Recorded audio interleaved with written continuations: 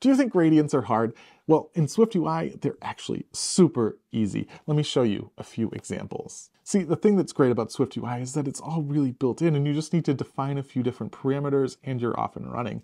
With the linear gradient, you just have to define a few colors, a start point and an end point. This can be top trailing to bottom leading, or it could be top to bottom or whatever you want. And it can be more than two colors if you want to add a third or fourth or fifth. It's just that easy. Moving on to the angular gradient, you have to define a center point. This is the center point of the angular effect, and it is on a scale of 0 to 1. So 0.5.5 would be the middle of your screen. And then you, of course, have to define a start angle and an end angle for that effect to take place. But it's, again, just a few lines of code. Finally, we have the radial effect. This, again, just takes a couple of lines of code. You have to define your colors, a center point, a start radius, and an end radius.